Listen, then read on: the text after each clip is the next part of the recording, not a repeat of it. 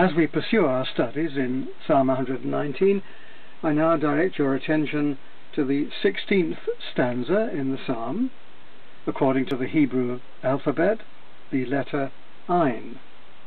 And I read from verses 121 to 128.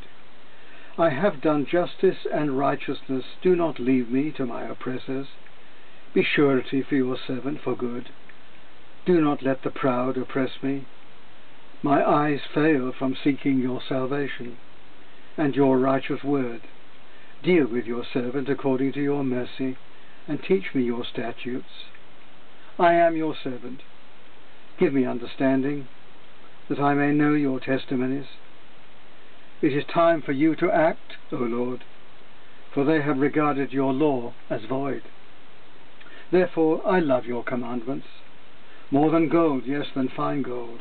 Therefore all your precepts concerning all things I consider right. I hate every false way. To give a title to this section of the psalm, I would choose the pursuit of excellence. The pursuit of excellence.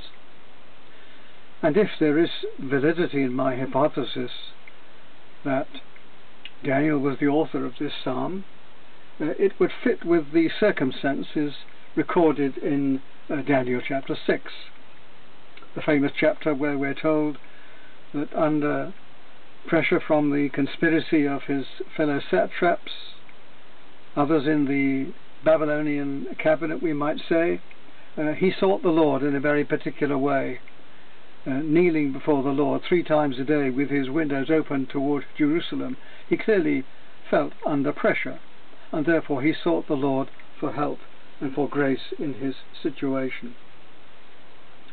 And Daniel is described as one of an excellent spirit. That was why the king commended him and wanted him uh, in public office.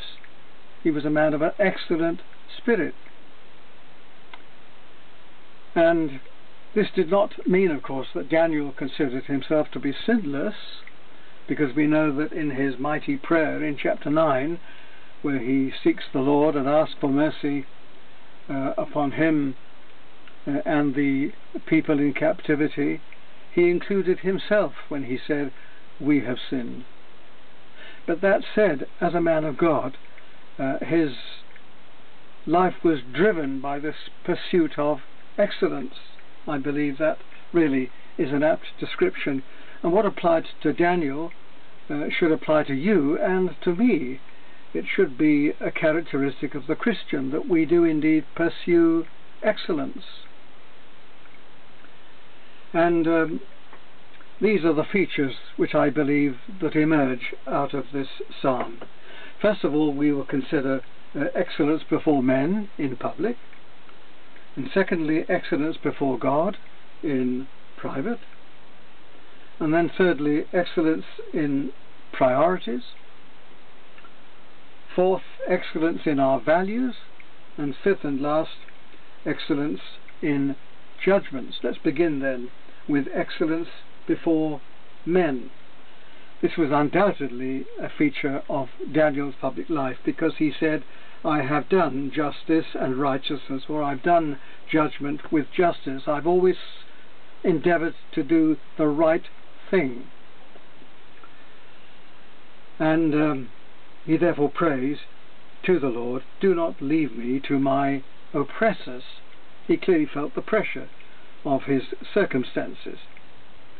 And uh, he seemed, humanly speaking, to be quite alone, but he knew he wasn't alone because he was able to turn to the Lord, uh, his God.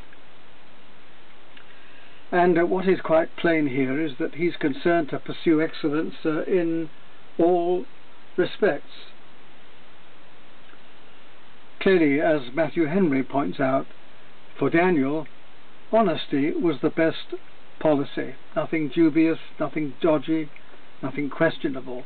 That was the character of Daniel as a public servant uh, in Babylon. And that should be our concern too, shouldn't it? And um, although Daniel was being oppressed at this particular time. Um, he didn't seek revenge and apply to the king against his critics and against his enemies.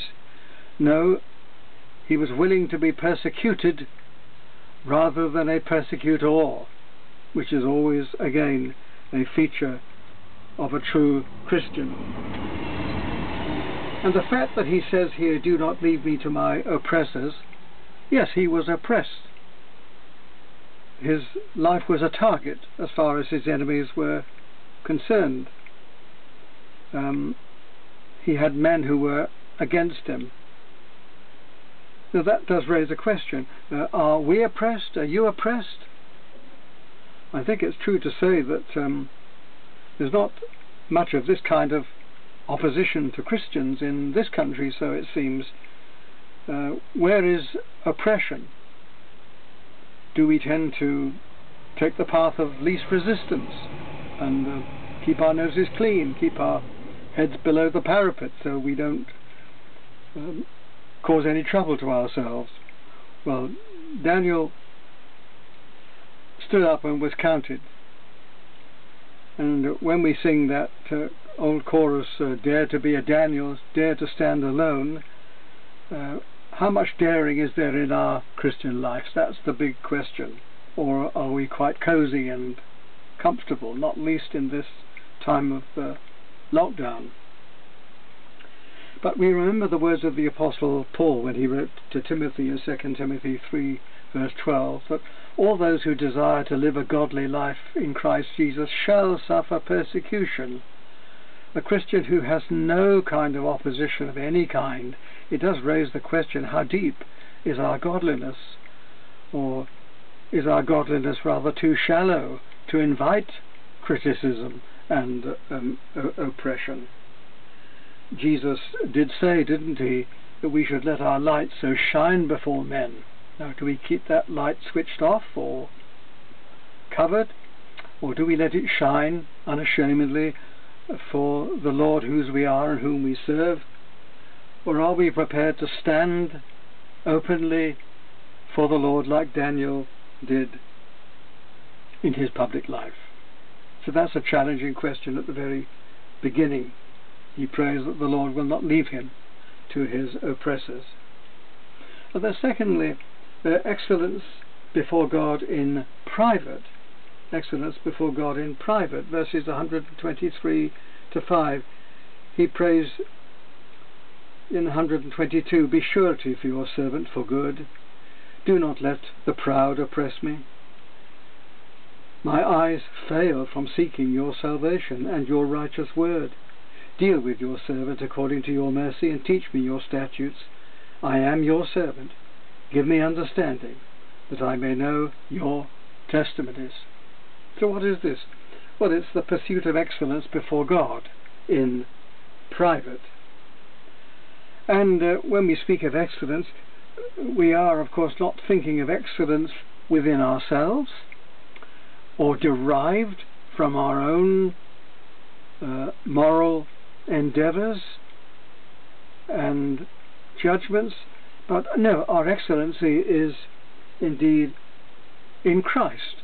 Isn't that what the Apostle Paul said in Philippians chapter 3, where having turned his back on uh, his Jewish pedigree, all his qualifications as a moralistic Pharisee, trusting in the performance of these to gain acceptance with God and entry into heaven, but um, after his conversion he came to realize how empty and how futile these were, because he came to discover that he was a sinner and that he needed the grace of God for salvation. And therefore he came to understand that in and through the Lord Jesus Christ was alone his salvation, and he rejoiced in the excellency of the knowledge of Christ Jesus my Lord. And he trusted to the excellency which is in the Lord Jesus Christ. Daniel here says that God was his surety for salvation. And that is what we believe as Christians. There is no guarantee of salvation and acceptance with God in our own strength and endeavors, but we do know that the Lord Jesus Christ, when we trust in him, he is our surety, he is our guarantee, because he is our Saviour. He's died for our sins upon the cross. He's paid the debt that we owed, that we could not ever pay. No, the Lord Jesus Christ is the way to the Father. It is through his dying love upon the cross, the righteousness which he earned for us in his sufferings. That's the righteousness of the Lord Jesus Christ by which, by which we're justified, justified by his blood, as Paul also says in Romans chapter 9, uh, chapter 5 and verse, verse 9. So this is the, the confidence that Paul had. It's the same confidence that Daniel has here uh, as well, both in terms of salvation and also deliverance from these proud oppressors that he was um, being oppressed by. So that's the confidence that we have. Excellence before God. We're accepted in Christ before God. So all the excellence of our Saviour's ministry for our salvation, which was built on the foundation of the excellence of his character, demonstrating that he alone was the sinless sin bearer, and therefore he was able to make that excellent righteous sacrifice for us upon the cross. And uh, we also have the uh, assurance that he will never leave us nor forsake us, that he will deliver us, and that he will preserve us if not necessarily protect us from the hatred of our oppressors, which could lead to our death, and in the case of the martyrs has certainly been the case, but they were never deserted by the Lord. They were preserved in Christ Jesus, and their lives, their salvation, were secure in the Lord Jesus Christ. So that is um, Daniel's confidence. Paul's confidence, your confidence, as well as my confidence, um, I trust. Be surety for your servant for good. All goodness is in God. Outside of him there is no goodness. then he says in verse 123, My eyes fail from seeking your salvation and your righteous word. This would suggest that um, Daniel didn't obtain deliverance and protection in five minutes. Probably there was a time scale in the conspiracy of his enemies against him. Therefore he was having to wait and pray, to pray and to wait until the deliverance would eventually come. And isn't that a feature of true trusting faith, that we must wait God's time and not expect an instant reply, an instant deliverance from the crises that we might be passing through. Patience, therefore. And that uh, always has been a feature, hasn't it, of the godly life. When one thinks of Simeon in the New Testament, he had to wait until he was an old, old man before the Lord fulfilled his promise that he would see the Lord Christ before he died. And then eventually he cuddled him in his arms and said, that he was seeing his salvation. And likewise the prophet Isaiah at the end of chapter 40, he reminds us that they who wait upon the Lord shall renew their strength. So when all the pressures are against us, when the problems are there, if we wait on the Lord in true trusting faith, he will not disappoint us. But we must leave the timing, the scheduling, to him and his all-wise uh, purposes. And Daniel is waiting for God's righteous word. And what is the righteous word? Well, fundamentally, it's the word of the gospel, the word which promises righteousness to the unrighteous, the God who promises to forgive and to restore and to renew. That's the promise of God. That's the promise that Daniel was looking to here.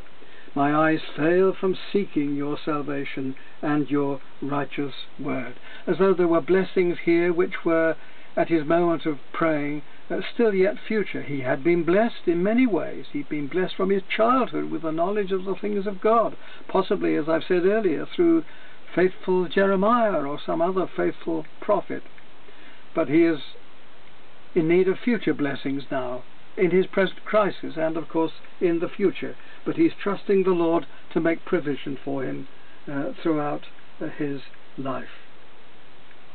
What is very plain too here, that he is completely dependent upon the mercy of God, not his own merit. This is what I mean. Um, he was a man of an excellent spirit, but not of a sinless spirit because he needed the mercy of God and he trusted in the mercy of God. So in 124 he says, Deal with your servant according to your mercy. And that should be true for every Christian. It is all about God's mercy, not our merit. That's the true Bible believing Christian's stance before God. We depend upon His mercy, not giving us what we deserve on account of our sins, but what He's promised according to His mercy in the Lord uh, Jesus Christ. This is indeed um, uh, Daniel's confidence at this particular moment in time. And you'll notice that he prays, Deal with your righteous servant according to your mercy, and teach me your statutes. He desires to go on being taught You will notice that he regards himself as a servant, as a servant of the Lord, and servants seek to listen to and obey their masters.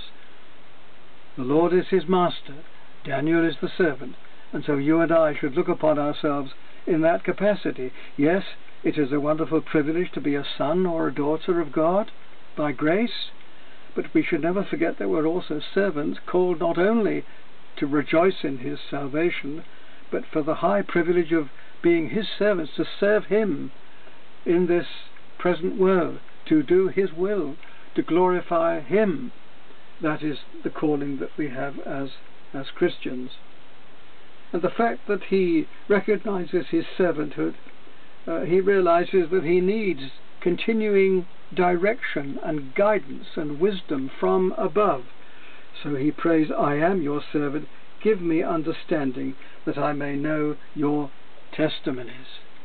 He wants to trust in God to walk according to his law, but always accompanied by the assurance of his mercy. We're back to the Ark of the Covenant again. The demands of the Ten Commandments, which we violate in our sin, but the provision of mercy, the mercy seat, the propitiation, the great propitiation of the sacrifice of the Lord Jesus Christ. It is that which gives us the assurance, the guarantee of our salvation and of our acceptance before God. And then third, excellence in priorities. Excellence in priorities. We read in Psalm eh, eh, in 119 here, verse 126, It is time for you to act, O Lord for they have regarded your law as void. It is time for you to act, O Lord, for they have regarded your law as void. Well, this really is a, a desperate prayer, and we can imagine with those windows open before Jerusalem. Remember that um, Daniel's enemies, the conspirators against him, they realized that they could find no complaint about Daniel except they found it with regard to the law of his God. They knew that because he was so devoted to God and his law, that they could get him on that. Because they hated Daniel, they hated Daniel's God, they hated the law of Daniel's God.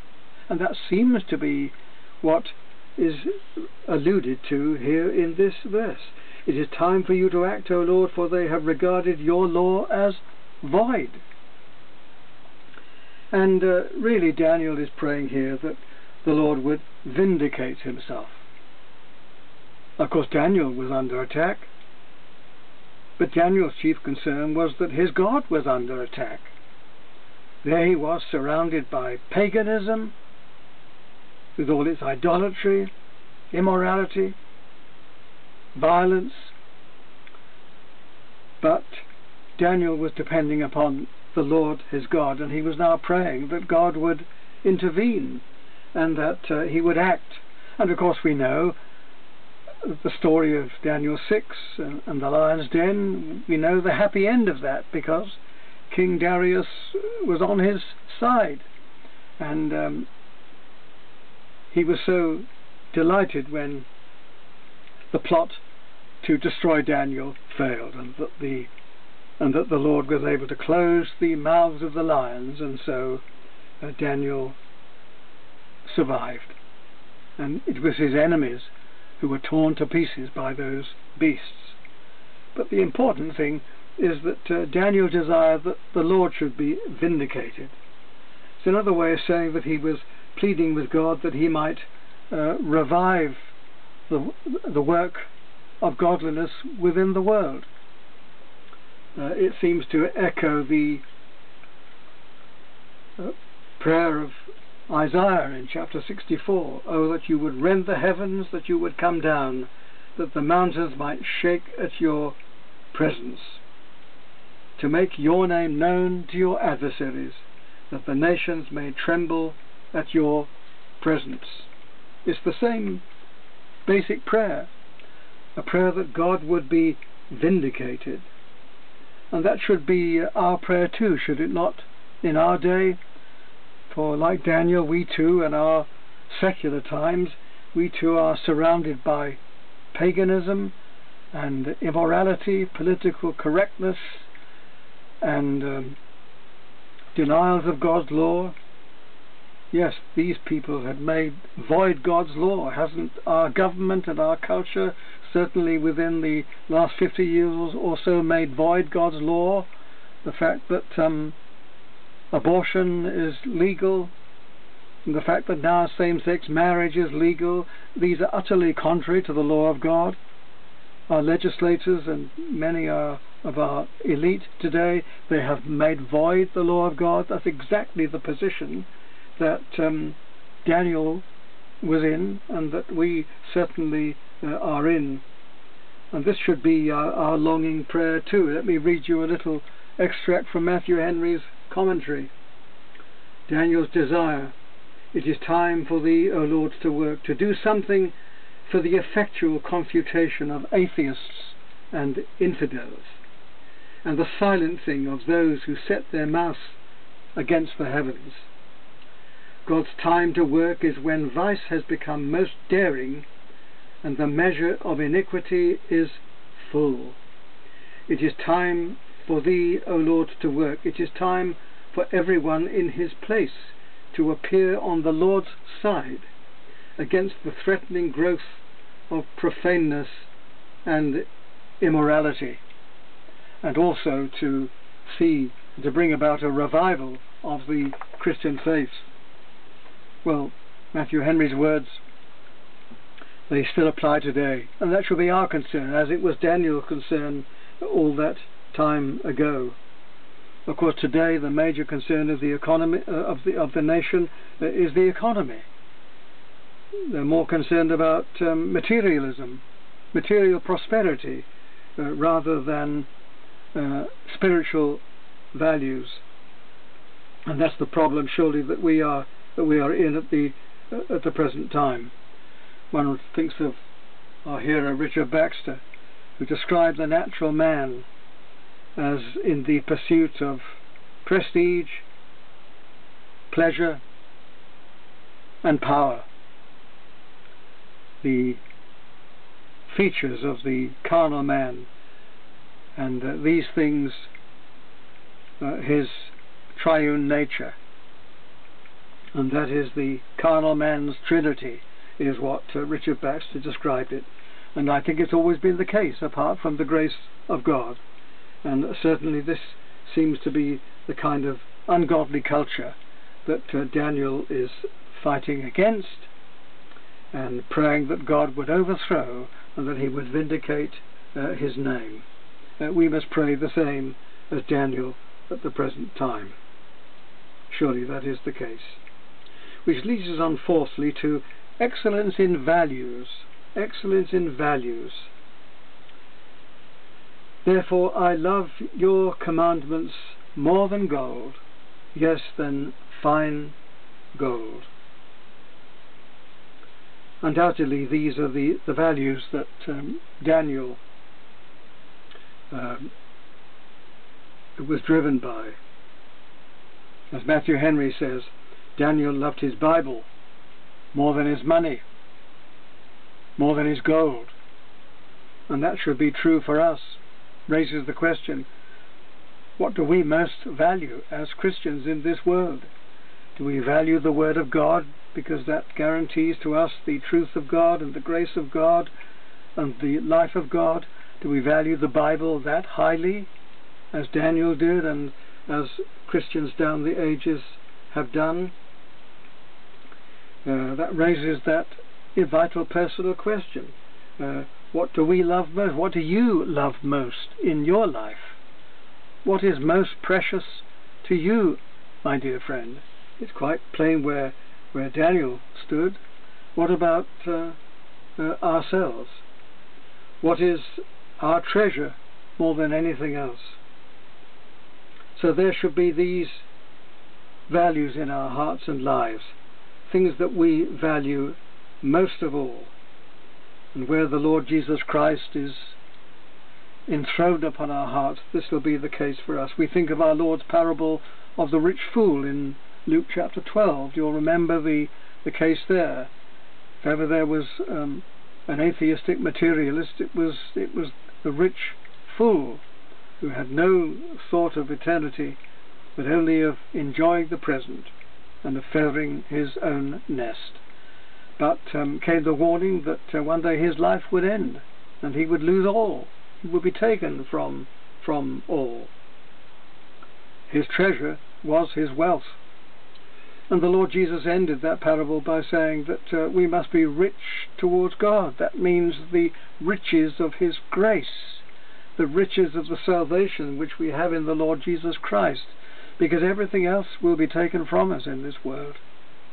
But if we have the Lord Jesus Christ and salvation, then we have the greatest treasure, with Jesus being our chief treasure, when everything else is lost, and that shall preserve us. He shall preserve us even forever.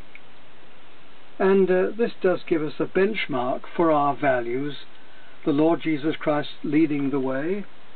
And then we remember, of course, the words of the Apostle Paul when he wrote to um, the Philippians.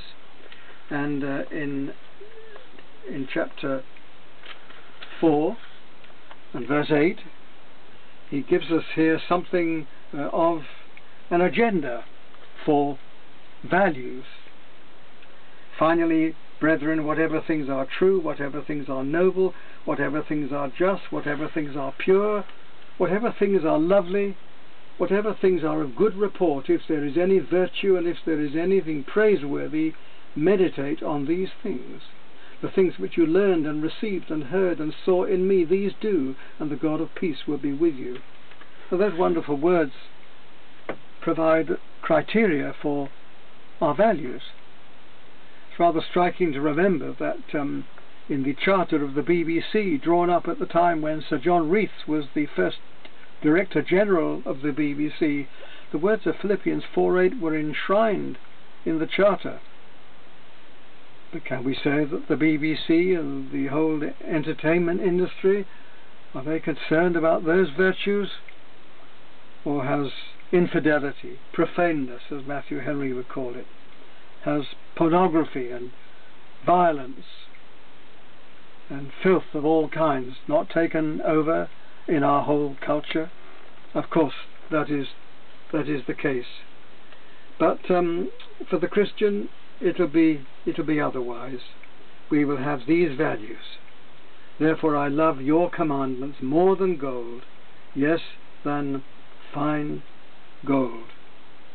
So that's a challenging issue, isn't it? What do we love most? What do we enjoy most?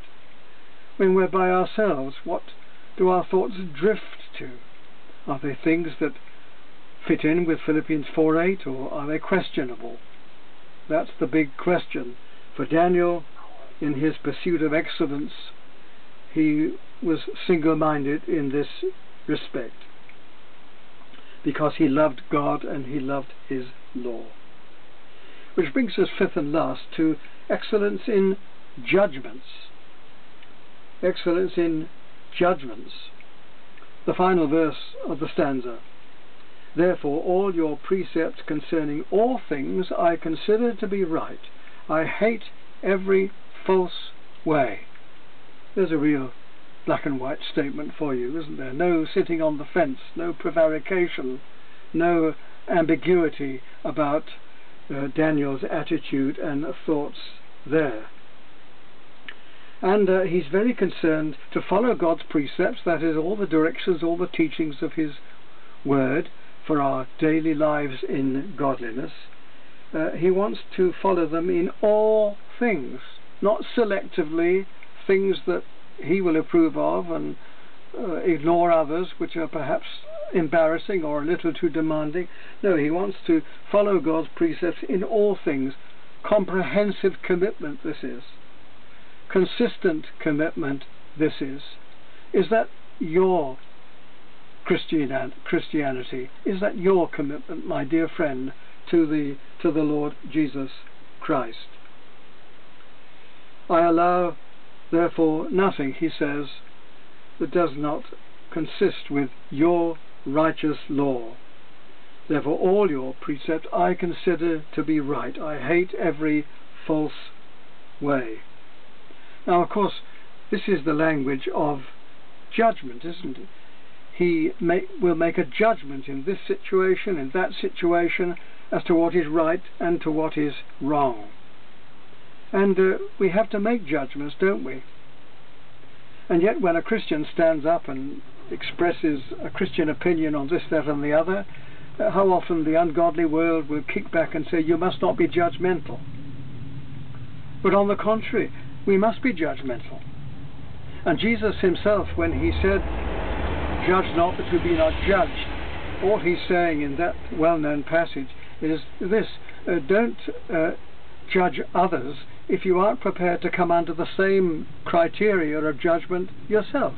He's not saying don't judge, but don't judge as if you don't come under the same judgment yourself. And uh, on the contrary, uh, we should make judgment, righteous judgment. Jesus says that in John 7 verse 24 very particularly, that we must be concerned about making righteous judgment.